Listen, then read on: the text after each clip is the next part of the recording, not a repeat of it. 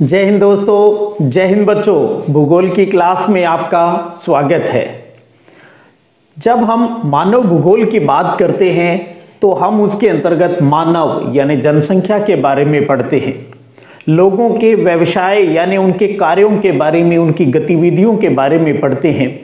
तो क्यों न हम लगे हाथ मानव जहाँ पर रहता है, उसके बारे में भी तो जान ले। क्योंकि मानव भूगोल का मूल आधार ये भी है भी मानव कहाँ रहता है। मानव अपनी सुरक्षा के लिए, मानव अपनी चीज़ों के भंडारण के लिए, मानव अपने धार्मिक, सांस्कृतिक जो कार्य है, उनको संपन्न करने के लिए कहाँ रहता है। वो अपने घर पे रहता है, उसके लिए वो मकान बनाता है।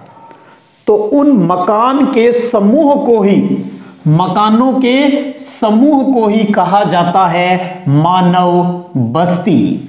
ह्यूमन सेटलमेंट्स कहा जाता है। तो मानवों मकानों का यानी घरों का जो समूह है, है उसे बस्ती कहा जाता है। या आप ये कह सकते हो विस्थाई बसा हुआ जो स्थान है परमानेंट रूप से जो बसा हुआ स्थान है, उसे मानव बस्ती कहा जाता है। जैसे एग्ज़ाम्पल की बात करें, गाँव हो गए, नगर हो गए, शहर हो गए तो ये सारे मानव बस्तियों के ही उदाहरण हैं।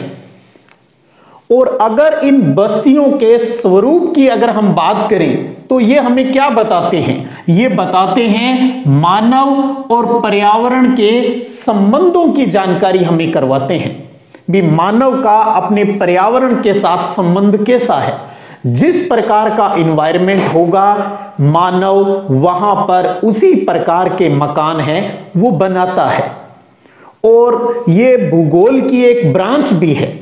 मानव भूगोल की एक ब्रांच भी है, जिसको कहा जाता है अधिवास या आवास भूगोल, यानी सेटलमेंट ज्योग्राफी तो हम इस अध्याय में जो चीज़ें पढ़ रहे हैं, ये अध्याय है आपका मानव बस्ती ह्यूमन सेटलमेंट्स और इसका अध्ययन भूगोल की जिस शाखा में, जिस ब्रांच में किया जाता है, उसे कहा जाता है अधिवास भूगोल, यानी सेटलमेंट जियोग्राफी तो आप समझ गए, आज हम पढ़ने जा रहे हैं मानव बस्तियों के बारे में, जो स्थायी हो सकती है, अस्थायी हो सकती है। थोड़े टाइम में मौसम के आधार पर कोई रहने की जगह बना ली जाती है तो वो अस्थायी हो जाती है।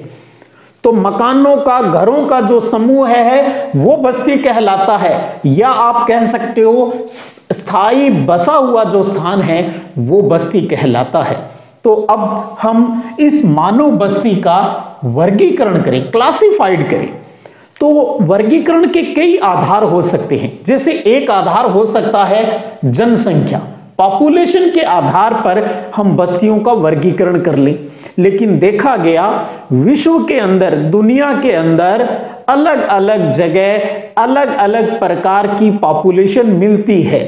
बड़ा ही बहुत ज़्यादा वेरिएशन है। तो इसलिए मानव बस्तियों के वर्गीकरण के अंतर्गत जनसंख्या के आधार को एक सर्वव्यापी मापदंड है, वो नहीं माना जाता है। दुनिया में अगर सबसे ज़्यादा जिस वर्गीकरण के तरीके पर सब लोग सहमत है, वो है व्यवसाय कार्य।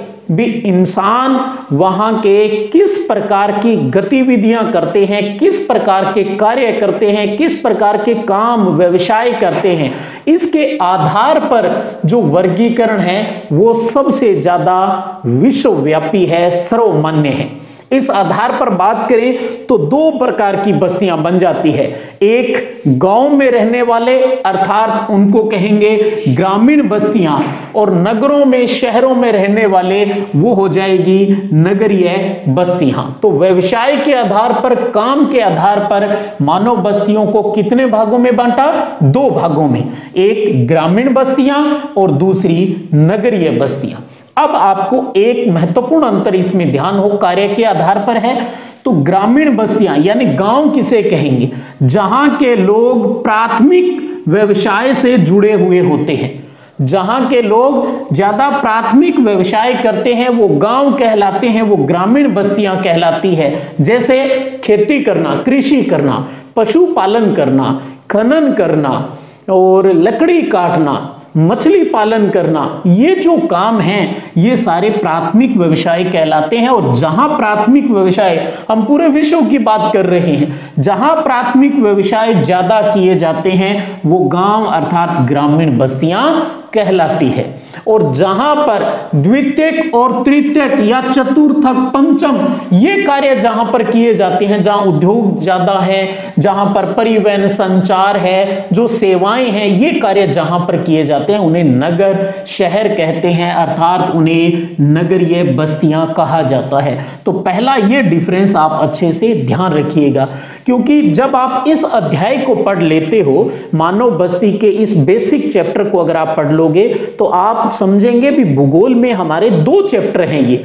एक आपकी फ़र्स्ट बुक में, जहाँ विश्व के बारे में बात करेंगे, और दूसरा है इंडिया वाली जो बुक है आपकी सेकंड बुक उसके अंतर्गत सेम यही चीज़ें वहाँ होगी। लेकिन वहाँ जो वर्गीकरण या थोड़ा सा हम इंडिया के बारे में जानेंगे वहाँ पर। वहाँ इंडिया का आधार है, वो ज़्यादा रहेगा।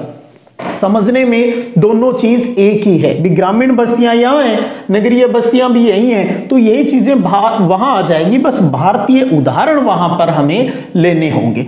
तो कार्य के आधार पर सर्वमान्य वर्गीकरण है ये। भी प्राथमिक व्यवसाय से जुड़े हुए वो ग्रामीण बस्तियाँ, जहाँ द्वितीय, तृतीय क्रियाकलाप गतिविधियाँ, कार्यों से जुड़े होते हैं, वो नगरीय बस्तियाँ कहलाती है। एक चीज़ आप और समझिएगा ये जो सर्वमान्य, सब जिसको मानते हैं वर्गीकरण का आधार, देश के अंदर जो प्रादेशिक स्तर पर भी इसमें अंतर पाया जाता है। जैसे, जो सुविधाएँ किसी विकसित देश के गाँव में मिलती है, विकसित देश के गाँव में जो सुविधा मिलती है, हो सकता है वो सुविधा एक अविकसित या विकासशील या अल्प विकसित देश में वो सुविधाएँ न मिले। जैसे एक उदाहरण से समझे। अमेरिका की बात करें, अमेरिका एक विकसित देश है। अमेरिका के अंदर आपको हर गाँव में पेट्रोल पंप मिल जाएँगे। और वहाँ पर जो ये पेट्रोल पंप का जो कार्य है, वो निम्न श्रेणी का माना जाता है, क्योंकि वो ग्रामीण क्षेत्रों में ज़्यादा होता है। जबकि अगर इसी बात को भारत जैसे एक विकासशील देश में माने तो आपको पेट्रोल पंप मुख्यतः कहाँ मिलेंगे? नगरों में, शहरों में ही मिलेंगे आपको। तो भारत में ये थोड़ा अच्छी श्रेणी का कार्य हो गया, जबकि अमेरिका में ये निम्न श्रेणी का कार्य हो गया। तो ये भी एक आधार बैठता है भी सही है भी काम का हिसाब देखो वहाँ पर, कहाँ पर किस प्रकार का काम होता है, उसी आधार पर इन सेटलमेंट्स का वर्गीकरण है, वो होना चाहिए। अब हम एक एक करके थोड़ा सा इनको आगे बढ़ लें। उसके साथ एक परिभाषा आप और देख लीजिएगा परीक्षा की दृष्टि से, और वो है उपनगर किसे कहते हैं। उपनगर। देखिए, नगर तो हमने समझ लिया। और अब आप देखते हो जो बड़े बड़े शहर हैं या कोई भी नगर है तो जब लोग नह, उस नगर के अंदर के जीवन से थोड़ा सा परेशान हो जाते हैं तो वो नगर के बाहर अपना प्लाट लेते हैं। थोड़ा शांति से जीवन जीना चाहते हैं। तो एक नगर के बाहर का जो खुला, जो शांत एरिया होता है, उसको कहा जाता है उपनगर। शहर के बाहर रहने का जो स्वच्छ, साफ़ सुथरा और खुला जो क्षेत्र होता है, उसको उपनगर कहा जाता है। तो ये भी आप थोड़ा सा एक नंबर के प्रश्न के रूप में इसको भी आप ध्यान रख लीजिएगा। अब हम एक एक करके टॉपिक को आगे बढ़ाते हैं। सबसे पहले बात करते हैं हम ग्रामीण बस्तियों की रूरल सेटलमेंट की बात करें। अगर बात करें आकृति के आधार पर शेप के आधार पर, इसे हम यहाँ पर दो तरीके से समझ सकते हैं। एक तो सहंत बस्ती और दूसरी परकिरण बस्ती। भी यहाँ हमें दो। जब हम इंडिया वाला चैप्टर पढ़ेंगे तो वहाँ हम इसके चार टाइप पढ़ेंगे। अगर परीक्षा में आ जाए, कोई दो प्रकार, कोई तीन प्रकार तो कोई भी, जैसे यहाँ सहित हो गया, जिसे हम गुच्छित भी कह सकते हैं। ये प्रकीर्ण हो गया, एकांकी जिसको कह सकते हैं। इसी प्रकार जो ये सहत या गुच्छित है, एक अर्धगुच्छित प्रकार हो जाता है, एक चौथा पल्ली प्रकार हो जाता है। तो इनके बारे में हम सेकंड बुक के अंदर जो चैप्टर है, वहाँ पर अच्छे से समझते हैं। तो यहाँ हम यह समझते हैं भी विश्व के अंदर आकृति के आधार पर ग्रामीण बस्तियों के दो रूप मुख्य हो गए। एक सहत बस्ती कॉम्पैक्ट और दूसरी परकीर्ण बस्ती, जो फैली हुई, बिखरी हुई बस्ती है। सहत बस्ती देखिए इसमें मकान है, वो पास पास होते हैं। जैसे यहाँ डायग्राम देखिए, हर एक डिब्बा है, वो घर है, मकान है। तो इसमें जो मकान होते हैं, सहत बस्ती में वो पास पास होते हैं। तो पास पास रहने वाले लोगों के अंदर आपको पता है, आपसी भाईचारा यानी सहयोग की भावना है, वो अधिक होती है। ये इनकी विशेषताएँ भी होगी। सहत बस्ती किसे कहेंगे? जहाँ पर मकान है, जिस बस्ती में मकान पास पास बने होते हैं, वो सहत बस्ती होती है। और यहाँ के लोगों में सहयोग की भावना, भाईचारे की भावना अधिक होती है। और ज़्यादातर ये लोग जो होते हैं पास पास जो रह रहे हैं मकान बना के, इनका काम धंधा भी लगभग आपको एक समान मिलेगा। एक मोहल्ले में जाओगे तो आपको एक जैसे ही मिल जाएँगे। और ज़्यादातर सहत बस्तियाँ कहाँ पर है? ये आपको दुनिया में मिलेगी नदियों के किनारे, क्योंकि पानी की सुविधा आसानी से मिल जाए, या जो उपजाऊ मैदानी भाग है, जहाँ आसानी से कृषि की जा सकती है। तो नदियों के किनारे और उपजाऊ मैदानों में आपको सहत बस्ती है, वो मिलेगी। अब बात कर ले परकीर्ण। परकीर्ण का मतलब होता है बिखरी हुई दूर दूर जो होती है। तो किसे कहेंगे? वो बस्तियाँ जिसमें मकान दूर दूर होते हैं। पास पास है तो सहत बस्ती दूर दूर है तो परकीर्ण बस्ती स्केटर्ड बिखरी हुई होती है। और ये खेतों के द्वारा एक दूसरे से अलग होती है। यानी आप यहाँ डायग्राम में देखिए, हर एक जो ये बड़ा ब्लू कलर में जो डिब्बा है, ये खेत है। तो हर आदमी अपने खेत में अपनी एक ढाणी बना लेता है, अपना मकान बना लेता है। तो ये अपना खेत, फिर ये दूसरे का खेत आ गया तो उसने अपने खेत में, अपने इलाके में एक साइड में ढाणी बना ली।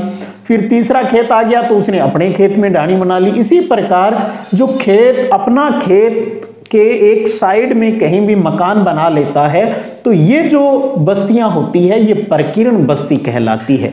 एकांकी बस्ती होगी, जो किसके द्वारा अलग अलग है? खेतों के द्वारा। अपना खेत छोड़कर फिर दूसरे का खेत स्टार्ट हो जाएगा तो वो अपना मकान ढाणी है, वो बना लेता है। तो इनमें क्या है? इन सहत की तुलना में यहाँ पर आपको भाईचारा कम मिलेगा, सहयोग कम मिलेगा। थोड़े अकेले रहना ज़्यादा पसंद है, ये लोग करते हैं। लेकिन फिर भी जब ये बाज़ार जाएँगे या जो पूजा स्थल है, मंदिर, मस्जिद अपने गिरजाघर, गुरुद्वारा, जो भी इनका पूजा स्थल है, वहाँ पर जब ये जाते हैं तो ये वो जगह है जहाँ पर ये बस्तियाँ हैं, वो एक दूसरे को जोड़ती है। तो वहाँ पर अच्छा इनमें आपसी प्रेम, भाईचारा है, वो देखने को मिल सकता है आपको। तो बाज़ार, पूजा स्थल इनको आपस में जोड़ने का एक बहुत अच्छा माध्यम हो गया।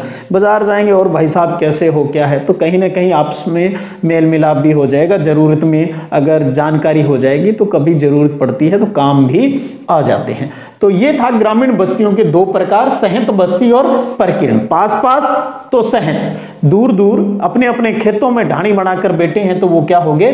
परकिरण है, बस्ती वो कहलाती है। तो ये तो हो गई ग्रामीण बस्तियाँ कौन सी? जहाँ पर प्राथमिक काम होते हैं। खेती है, पशुपालन है, खनन का जो काम है, मत्स्य पालन, मछली पालन का जो काम, पशुचारण, ये सारे दो प्रकार से हमने इसको समझ लिया। अब हम नगरीय बस्तियों की जहाँ बात की, जहाँ पर लोग द्वितीय तृतीय जो सेवाओं वाले जो काम है, वो ज़्यादा करते हैं, उनकी बात करें। तो ये भी अगर पूरी दुनिया में बात करेंगे तो अलग अलग देशों में नगरीय बस्ती यानी नगर की स्थापना के, या हम किसे नगर कहेंगे, इसके अपने अपनी परिभाषाएँ अपनी अपनी जो विशेषताएँ हैं, वो देखने को मिलती है। लेकिन फिर भी अगर हम मोटा मोटा देखें, अगर आप भारत वाला भी अगर आप समझ लेते हो तो बोर्ड परीक्षा की दृष्टि से भी इंपॉर्टेंट हो जाएगा और यहाँ आपके टॉपिक है, वो क्लियर भी हो जाएगा। तो यहाँ हम नगरीय बस्तियों का आधार है, वो इंडिया को लेकर समझ लेते हैं। तो उन्नीस सौ इक्यानवे की भारतीय जनगणना के अनुसार नगरीय बस्ती की परिभाषा के अंदर क्या आधार रखे गए हैं, जिन्हें हम विशेषताएँ कहते हैं? चाहे नगरीय बस्ती की भारत के अनुसार परिभाषा पूछ ले, चाहे विशेषताएँ पूछ ले तो इसमें चार चीज़ें आती हैं। तो क्या भारत के अंदर नगर किसे कहेंगे? एक ध्यान रखिएगा, जहाँ की जनसंख्या न्यूनतम पाँच हज़ार कम से कम पाँच हज़ार। तो इसका मतलब पाँच हज़ार या पाँच हज़ार से अधिक जो जनसंख्या होती है तो उसे भारत में नगर माना जाता है। लेकिन इसके साथ साथ एक शर्त और है भारत के अंदर, वो है जनसंख्या के घनत्व की डेंसिटी की। वो होनी चाहिए 400 व्यक्ति प्रति वर्ग किलोमीटर। तो भारत में नगर किसे कहेंगे? जहाँ कम से कम जनसंख्या पाँच हज़ार हो और जहाँ का जन घनत्व है वो 400 व्यक्ति प्रति वर्ग किलोमीटर हो। तो ये जनसंख्या के आकार के दोनों बात भारत में नगर की स्थापना में जनसंख्या आकार अर्थात कितनी जनसंख्या और कितना जन घनत्व है, इन दोनों को आधार है, वो रखा जाता है। इसके भारत के अलावा अगर हम बात करें जैसे थाईलैंड की बात कर लें, हम अमेरिका की बात कर लें तो वहाँ 2500 लोगों का आधार रखा गया है। इसी प्रकार जापान की बात करें तो वहाँ तीस हज़ार लोग कम से कम होने चाहिए। तब नगर की श्रेणी में वो जो इलाका है, वो आता है। और वही अगर डेनमार्क, स्वीडन फिनलैंड की अगर बात करें, वहाँ सिर्फ़ 250 250 लोगों के ऊपर ही वहाँ नगर का दर्जा है, वहाँ मिल जाता है। कनाडा में 1000 लोगों का हिसाब किताब है, वो रखा जाता है। और वहीं कुछ ऐसे देश भी है, जैसे लेटिन अमेरिका की बात करें तो जो ब्राज़ील है और जो बोलीविया है, वहाँ पर इस जनसंख्या के आकार का कोई आधार ही नहीं है। क्या नहीं जी, हम जनसंख्या का हिसाब किताब नहीं रखेंगे। तो वहाँ क्या आधार रहता है? वहाँ जहाँ पर भी उनकी कोई राजधानी है, जो भी जहाँ पर प्रशासन का काम जहाँ पर होता है, उन्हें वो नगर कह देते हैं। तो आप समझ पा रहे हो ना? भी हम भारत का आधार लेके दूसरे देशों को भी समझे तो उससे आपको ये पता चल रहा है भी अलग अलग देशों में नगर की स्थापना के जो आंकड़े हैं, वो अलग अलग रहते हैं। इसी प्रकार अगर व्यवसाय की बात करें तो भारत के अंदर पिछहत्तर प्रतिशत सेवेंटी फाइव परसेंट जो पुरुष श्रमिक है वो गैर कृषि कार्यों में, यानी कृषि के अलावा, अर्थात प्राथमिक व्यवसाय के अलावा द्वितीय, तृतीय, चतुर्थ, पंचम कार्यों से जुड़े हुए होने चाहिए। अगर पिछहत्तर प्रतिशत पुरुष जो मेल है, वो अगर गैर कृषि कार्यों से जुड़े हुए हैं तो वहाँ वो नगर होगा। इसी प्रकार उदाहरण कर लें, अगर इटली की बात कर लें। इटली एक यूरोपीय देश है जहाँ पर 50 परसेंट की शर्त है। भी 50 परसेंट लोग गैर कृषि कार्य है, वो करें, जबकि इंडिया में अपने पिछहत्तर प्रतिशत की बात है। इसी प्रकार प्रशासनिक ढांचे की अगर बात करें एडमिनिस्ट्रेशन की अगर बात करें तो अगर यहाँ पर कोई नगर पालिका का जो क्षेत्र है, या नगर निगम का जो क्षेत्र है, या कोई छावनी बोर्ड है, या कोई अधिसूचित नगरीय क्षेत्र समिति है तो वो नगर के अंदर शामिल रहते हैं। तो इसका मतलब कम से कम पाँच हज़ार लोग हो 400 व्यक्ति प्रति वर्ग किलोमीटर जनघनत्व हो, और वहाँ पर पिछहत्तर प्रतिशत से ज़्यादा या पिछहत्तर प्रतिशत पुरुष है, वो गैर कृषि कार्य करें वो कोई नगर पालिका क्षेत्र घोषित हो, नगर निगम हो, चाहे छावनी बोर्ड हो या कोई नोटिफाइड एरिया हो। तो उसे भारत में नगर की संज्ञा दी जाती है। तो भारत में नगर की परिभाषा लिखे तब भी चारों बात आए।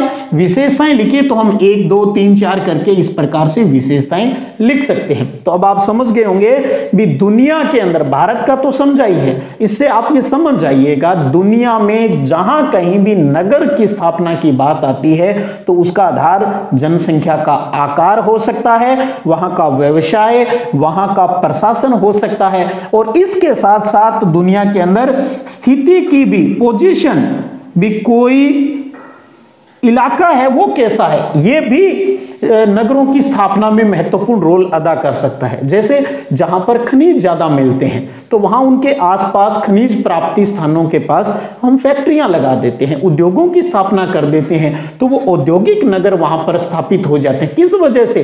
उस खनिजों की प्राप्ति के कारण। जहाँ खनिज मिलते हैं वहाँ लोग ज़्यादा रहने लगे तो हम कह देंगे वो खनन जो नगर है वो स्थापित हो गए। कहीं अगर लोग ज़्यादा घूमने के, लिए आते हैं कोई पर्यटन स्थल है तो वो पर्यटन नगर की दृष्टि से, कोई पढ़ाई की दृष्टि से अगर पॉपुलेशन कहीं ज़्यादा बढ़ जाती है तो वो शिक्षा नगरी के रूप में जाने जाते हैं। इसी प्रकार व्यापार के उद्देश्य से जो समुद्री पत्तन बंदरगाह है, अगर वहाँ पर डेवलपमेंट अच्छा हो जाता है तो वो समुद्री पत्तन, जो पत्तन नगर है, वो कहला दिए जाते हैं। तो नगरों की स्थापना में दुनिया में स्थिति का भी रोल है, वो रहता है। जैसे जनसंख्या के आकार का, व्यवसाय का, जो एडमिनिस्ट्रेशन वहाँ का कैसा है, उसका आधार तो उसके साथ साथ स्थिति का भी दुनिया में बहुत बड़ा रोल है, वो नगरों की स्थापना के अंतर्गत रहता है।